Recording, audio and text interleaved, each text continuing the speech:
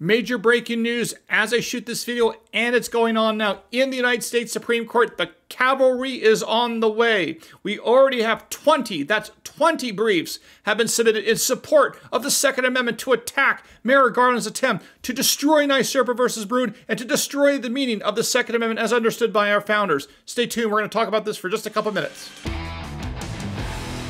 Hey folks, I'm Mark Smith, host of the Four Box Diner, proud American owner, constitutional attorney, member of the United States Supreme Court Bar and author of First They Came for the Gun Owners. Check it out on Audible as well as on Amazon. All right, folks, breaking news.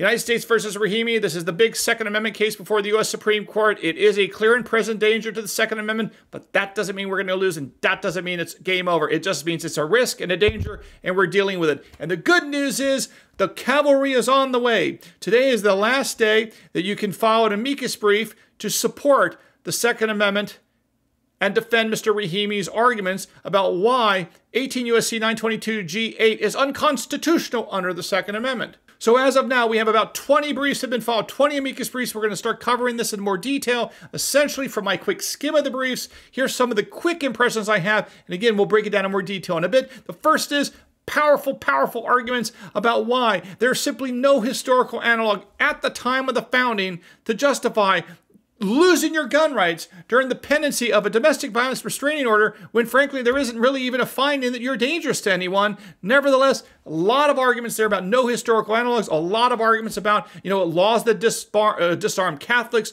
laws that disarm the Indians or the Native Americans, laws that disarm the Tories. A lot of arguments here about these various laws at the time of the founding that did exist and why they're not applicable to an American citizen under the Second Amendment's right to keep and bear arms powerful stuff here. We also are seeing a lot of discussion appears to be laser focused on 1791 is the relevant time period as well? It is the relevant time period because I've talked about this in many instances. You all know this. The other thing we're seeing is a strong defense of NYSERPA versus Bruen and the methodology which is often referred to as the Bruen methodology of text first and then historical analog second. After the text is implicated the burden shifts to the government to come forth with a historical analog or a tradition of historical analogs to justify their modern day gun control And of course, I don't think they're going to be able to do it in 922G uh, 8 here. Again, going to be hard for them, but there's a lot of good arguments here. And then there's also a lot of arguments I noticed about basically don't buy into this appeal to emotion. Don't buy into this appeal to emotion, which is really a lot of what the other side is saying, meaning the government and the government amici who support Merrick Garland, Joe Biden, and the Department of Justice in this case are trying to basically say that domestic violence is bad. It's bad when men and women are shot by their intimate partners.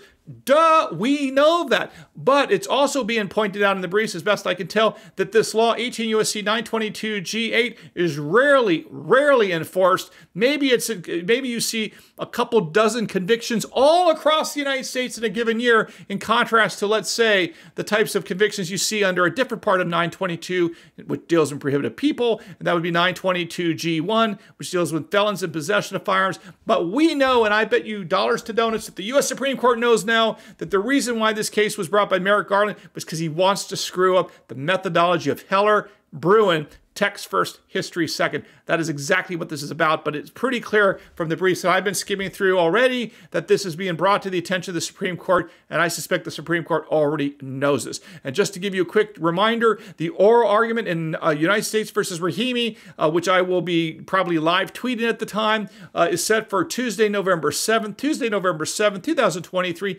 is the date of the oral argument. I don't know if it's the first argument or the second argument on that day, but I will let you know when I uh, check out the Supreme Court's docket more, in more detail in the next week or two. And by the way, the next thing that's going to happen is, I believe, on October 28th or so, the United States Department of Justice will file their reply brief responding to these 20 various briefs submitted uh, by the pro Second Amendment community in support of the Rahimi argument that 922G8 is simply unconstitutional under the Supreme Court under the Supreme Court's precedent of Bruen and the text of the Second Amendment. Some of the major briefs that we've already seen come in the door, and again, we'll break these down in more detail. I'll give you just a quick list. The Second Amendment Foundation has filed a brief. The Firearms Policy Coalition has filed a, filed a brief. Gun Owners of America, Gun Owners Foundation, the Heller Foundation, the Virginia Citizens Defense League, the Tennessee Firearms Association, the Foundation for Moral Law, Center for Prosecutorial or uh, Center for uh, Prosecutor Integrity, the National Association for Gun Rights, a powerful brief there. Cato Institute and the Goldwater Institute, Phyllis Schlafly's Eagles and the Eagle Forum Education and Legal Defense Fund has filed a brief. The Alameda County Public Defenders has filed a brief. National Association of Federal Defenders, that's very important. The National Association of Federal Defenders are the federal public defenders who defend a lot of indigents in federal court. It's going to be very interesting to see the arguments made by the National Association of Federal Defenders. We see the California Rifle and Pistol Association that's doing such a fantastic job out there in cases like Duncan versus Bonta and all throughout California trying to defend Americans' rights out there against Gavin Newsom and his little buddies out there that hate the Second Amendment. So, yes, the California Rifle and Pistol Association and the Gun Owners of California submitted a brief today in, in Rahimi. The law enforcement groups and firearms groups, there's a whole list of law enforcement groups and firearms rights groups that are out there. Uh, we'll talk about them. There are a lot, it looks like there are a lot of state based groups that filed a brief. The uh, Crime Prevention Research Center, which I believe is John Lott's group, has filed a brief. The Center for Human Liberty has filed a brief. The Independence Institute and the Second Amendment Law Center, I believe that's Dave Kopel's uh, uh, organization, filed a powerful brief as well. The Bronx Defenders Union and the National Association for Criminal Defense Lawyers filed a brief, as well as the National African American Gun Association filed a brief. All of these organizations have filed uh, briefs. We're going to talk about them in detail, but they've all filed briefs in support of the Second Amendment, uh, NYSERPA versus Bruen, and of course, uh, to say that 18 U.S.C. 922 G8 is unconstitutional as well. It is. All right, folks. Uh, quick summary. I just wanted to give you a quick summary. We'll talk about all this stuff in more detail. Uh, hope you learned something here today at the Four Boxes Diner. We'll keep breaking the news for you as it comes in, and uh, we'll look forward to talking to you again soon here at the Four Boxes Diner. Orders up. Table 2A.